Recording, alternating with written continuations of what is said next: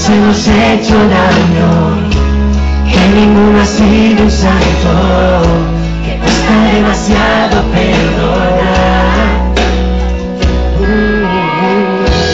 Que hicimos algo grande, nos quisimos